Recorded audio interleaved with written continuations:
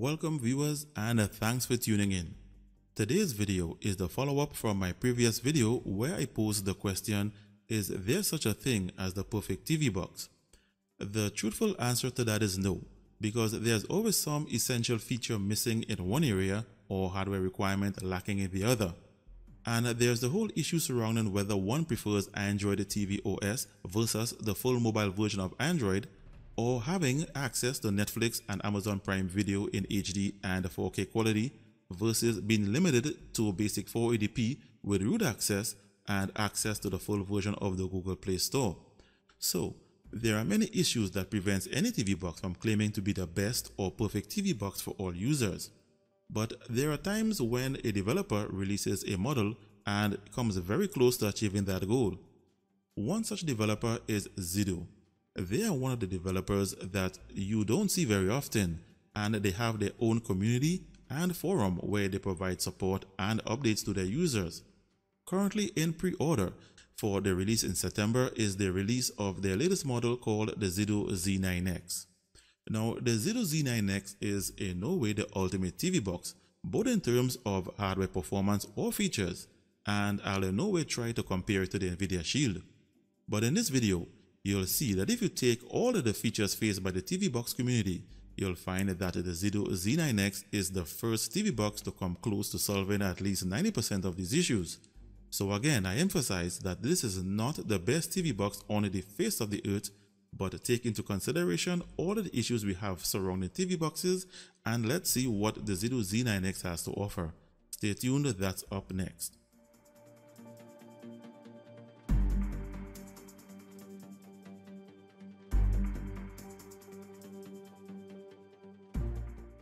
So here are the specs. The CPU is the Realtek RTD 1619 hexa-core CPU. The GPU is the Mali G51 MP3 graphics processor. It comes with 2GB of DDR4 RAM and 16GB of eMMC internal storage. It has an external SATA 3.0 expansion port. It has 802.11 AC 2.4 plus 5 GHz Wi-Fi with T2TR MIMO technology. It has a gigabit Ethernet LAN port, Bluetooth 4.0 support, and HDMI 2.0A display. I tried to get my hands on a 4GB, 32GB, or even the 64GB model, but it's early yet and not available at this time. In the box, you have the Zidoo Z9X TV box itself. You get one IR remote with programmable learning keys, custom shortcut keys, and a backlit display you get one HDMI cable, one external SATA cable, a 12 volt 2 amps DC power adapter, and your user's manual. And now for its design and ports. The entire body is made of metal with just some of the features printed to the top. To the rear of the box you have two HDMI ports, an HDMI input and an output, one gigabit LAN port, one optical audio port, one audio video port, an RS-232 port, your DC power input, a power switch, and a pair of T2TR MIMO external antennas. To the left side, you have two USB 2.0 ports, a pinhole reset button, and some cooling vents. To the opposite side, you have an external SATA connector and two USB 3.0 ports. To the front, you have the Zidoo branding and an LED clock display. And below the box, you have a 4 anti-skid rubber feet and some cooling vents. So I'll now set this up on my 4K TV and a capture card and continue. So this is the startup of the Zidoo Z9X. It's very simple nothing flashy about it. With the Zidoo logo animation for a few seconds, then you're taken directly to the launcher. So this is Zidoo's official custom launcher and it's called ZI UI. And ZI UI has been in development for many years now and has come a long way. This version of ZI UI has these large main icons, some of which can be changed. And those that cannot be changed consist of a date and time widget, a weather widget, a one-click cleanup button,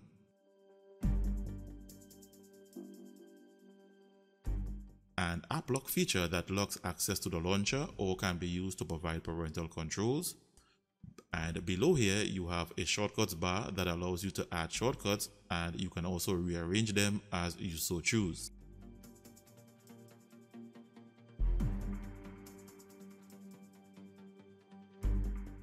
This launcher does not have a navigation bar or a status bar, but using the programmable shortcut keys on the remote, you can enable multitasking as one of the shortcuts. I will also install the menu button alternative navigation bar as a replacement to see if it works. Zidoo provides two versions of this firmware. The first version provides all the features minus the Google Play Store and Google Play services. And the other version has all the Google Play services as you would with any regular TV box. You can, however, go to their website and download the version you prefer and update it easily via USB without losing any of your saved data or apps installed. So this is ZIUI's settings area and in this section you have features such as advanced video playback settings, all of which you don't see in other TV boxes.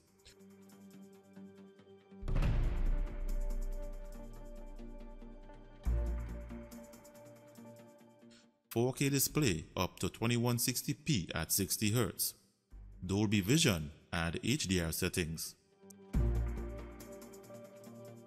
HDCP settings, another option you don't usually see. You have an advanced HDR dynamic metadata feature called Max CLL and Max Fall. You have screensaver controls, custom wallpaper settings, you have advanced audio settings which includes a feature that downmixes HD audio to produce Dolby True HD. You also have audio sample rate settings and the option to enable USB audio. You have network and Samba server settings and settings such as power options, HDMI CEC, and firmware update options. This firmware does not come with a root switch, However, Zidoo provides that in the form of an app called One Key Root that they provide for each one of their models. So the only features missing from this firmware are the navigation bar and status bar and hardware monitor settings. If I head over to the apps section, these are the apps that come pre-installed. Unique to this section is an HDMI recorder app that works with the HDMI input port to the rear of the box and a home theater app which is a cool app for playing your videos which has a really nice interface and cool features. So I'll install my usual set of apps needed to complete my review and continue. So I'm back and I've installed all of the apps needed to complete my review. And here you can see that the box is running on the full version of the Google Play Store. So first, let's look at its system and hardware information. The system information, here it shows the model and the main board. It comes with 2GB of DDR4 RAM and that's according to the product description. And it comes with 16GB of internal storage and the Bluetooth version is 4.2. The CPU is the Realtek RTD1619 which is a 64-bit Cortex-A55 hexa-core CPU clocked at 1.3 GHz configured in 32-bit mode and it has support for only 32-bit ABIs. Its display is powered by the Mali G51 tri-core graphics processor with a refresh rate of 60Hz and OpenGL ES version 3.2. On the network, it shows that you have dual band 2.4 plus 5 GHz Wi-Fi support. The operating system is Android 9 Pie. There is an area of concern which is its temperature sensor which only allows temperature apps to get a snapshot of its temperature reading during operation, as you will see later in the video. The box comes with all the decoders needed for the playback of 4K HDR videos with digital audio formats, and in this list, you can see that you have Dolby and DTS audio decoders. And that's it for system and hardware information, and let's now take a look at some benchmarks. First, I have the results of its RAM copy speed its internal storage, and the external SATA port read and write speeds. The Zidoo Z9X has a RAM copy speed of 2045 megabytes per second, Its internal storage has a read speed of 123 megabytes per second and the write speed failed to give a reading. The SATA expansion port has a read speed of 163 megabytes per second and a write speed of 158. The results of the internal storage and SATA port are great, but the RAM copy speed resembles that of a low-end budget TV box. Next is the results of the Wi-Fi bands and the Ethernet LAN speed test. The Zidoo Z9X comes with a pair of dual-band T2TR MIMO Wi-Fi antennas and a gigabit Ethernet LAN port. And the results show that in this box you have a maximum bandwidth on both Wi-Fi bands and on the LAN port. So the dual band antenna is doing its job very well in this box. Next I have the results of the Antutu benchmark in this test, the Zidoo Z9X got a score of 73,128. This score is a little above average and we'll see in a moment where it places on the chart. Next, I show the results of the Geekbench 4 CPU benchmark. In this test, the Realtek RTD 1619 hexa-core CPU got a score of 632 single-core and 2178 multi-core. Uh, these are some okay scores and we'll see how it adds up on the chart. The final benchmark are the results of the 3DMark Gamers Bench GPU benchmark. In this test, the box got a score of 6705 in the Ice Storm Extreme test and 418 in the Slingshot test. These scores are some decent scores and it should see to it that this box does well in some 3D gaming. And that's it for the benchmarks. Let's now see where it places on the chart. So the scores are in and the Zidoo Z9X is at position number 21 in reference to Antutu benchmark scores, which is not too bad given that its CPU is clocked at 1.3 GHz. So I'd love to see if Zidoo continues to use this CPU, if they increase its CPU clock speed, what kind of scores we'll get. You can view this chart on my website where you can interact with it and compare various scores. See the link in the description below this video. So this brings to an end the first half of my video and I know you haven't seen anything to get excited about, but that is all about to change in the second half where I focus on its features. So to start this segment, I installed the menu button alternative navigation bar and performed a test to see if alternative launchers work on this box. So I installed the ADW Launcher 2 and I also installed a custom live wallpaper. I made numerous attempts to install a live wallpaper on the stock ZI UI launcher, but you can only change the wallpaper from the ones they have included or by manually downloading one or uploading an image with a flash drive.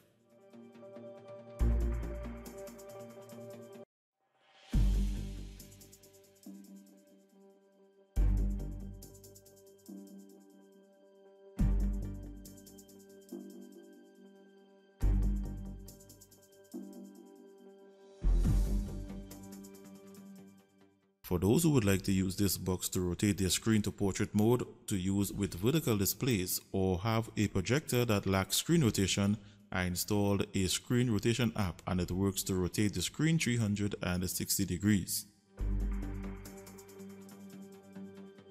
Let's take a look at its root access information. The Root Checker app shows that the box is not rooted, running on Android 9 operating system.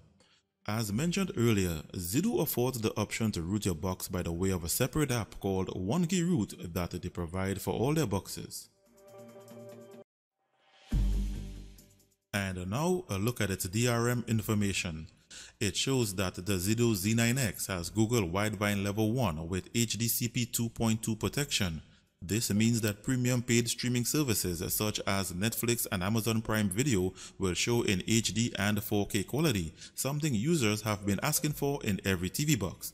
But keep in mind, this is not Android TV OS, this is the full mobile version of Android. So this level of DRM support combined with the full mobile version of Android is a combination not seen in any other TV box to date.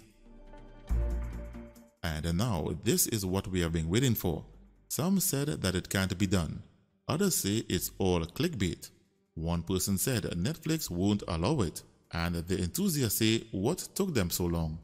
So this is Netflix, running on the full mobile version of Android with DRM support to play movies in HD and 4K quality.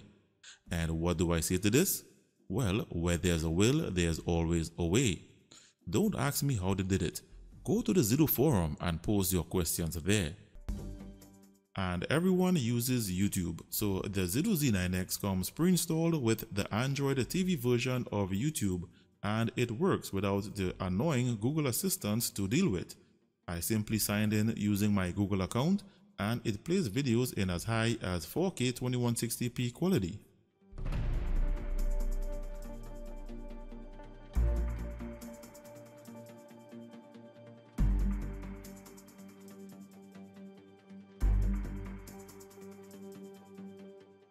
When it comes to casting and screen mirroring, Zidoo usually provides their own screencasting app, but unfortunately they didn't include one in this model or have not provided an update with one yet.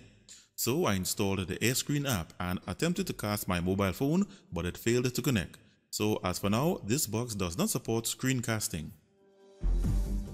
Zidoo provides a remote control app for using your mobile phone as a remote to control or navigate the box. Here I've already scanned the scan code with my mobile phone and installed the Zidoo Control app and I'm using it to navigate the box.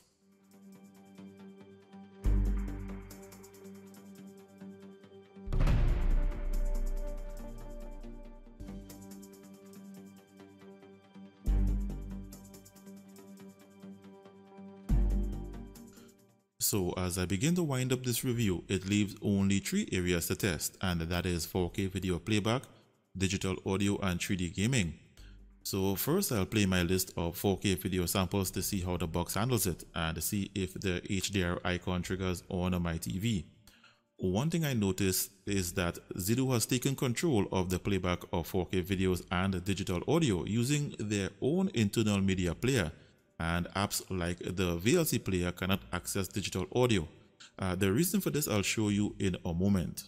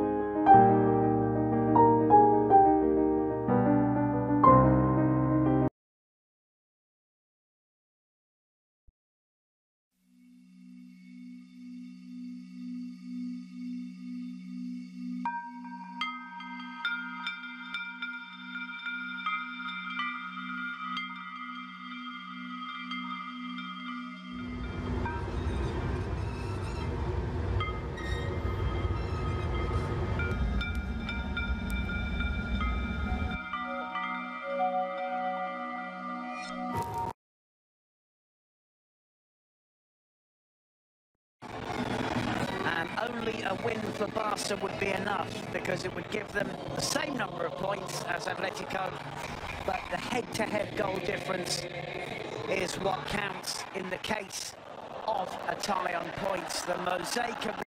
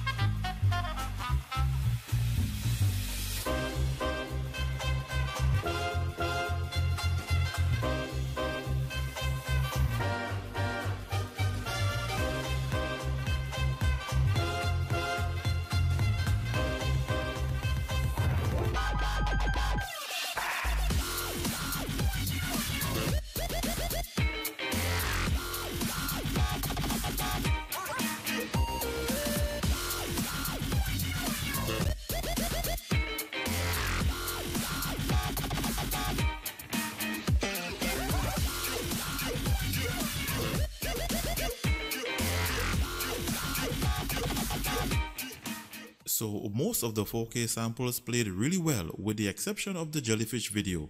Also, during the playback, the videos triggered the HDR icon on my TV. I now test for 7.1 digital surround sound formats such as Dolby Atmos, DTS X HD Master Audio, THX, and the highly requested Dolby True HD. But before I perform this test, please note that in the audio settings, you have to switch the HDMI audio option from auto to raw, otherwise you will not get all the digital audio formats.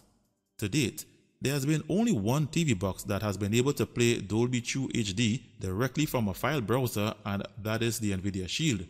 Even so, the NVIDIA Shield has to use the VLC Player or MX Player Pro with audio pass-through enabled to achieve this. Zidoo in this model has made all the digital audio formats accessible directly from any browser using the stock media player. So there's no need to install the VLC Player or MX Player Pro to achieve this. So let's now go to the demonstration.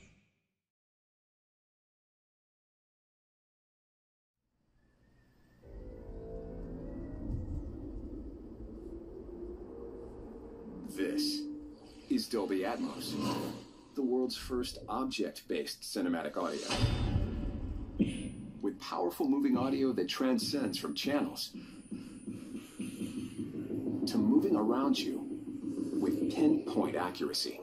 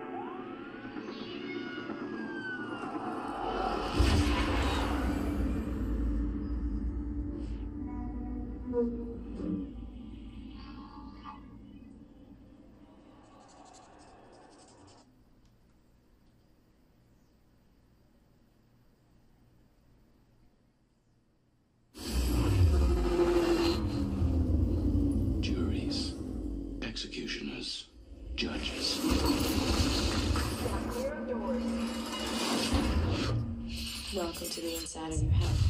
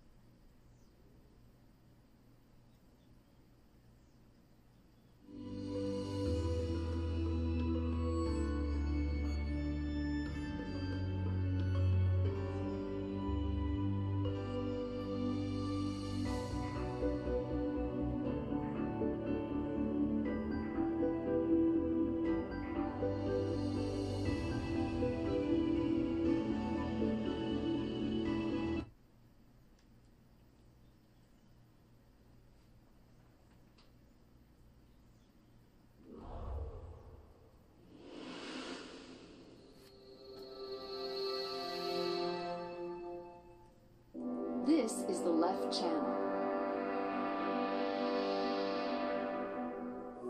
Next, we have the center channel. Over here is the right channel.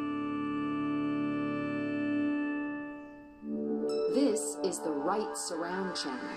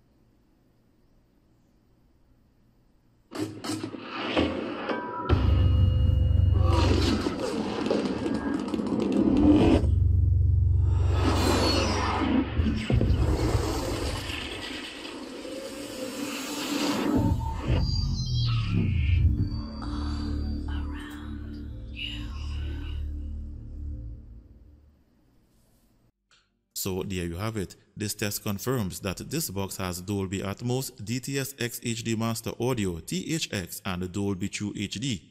This is a Sony STR-DH790 7.1 receiver and the firmware displays Dolby True HD as Dolby Surround